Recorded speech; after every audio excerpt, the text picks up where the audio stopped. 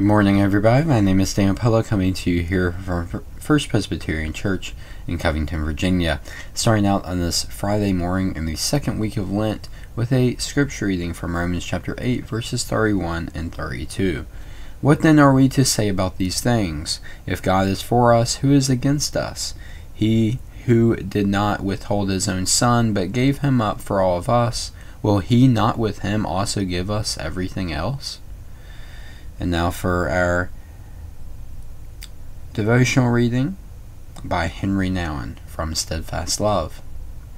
When I was a child, I was often afraid of the dark. My parents then would hear me call out, more like scream, and they would come running. When they asked me what was wrong, I said, I'm scared. The dark is too big.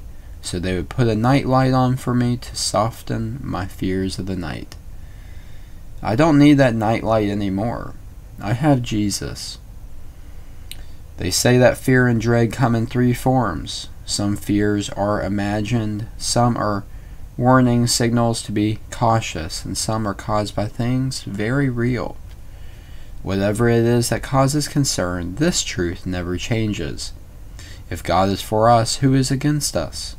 He who did not withhold his own Son, but gave him up for all of us, will he not with him also give us everything else?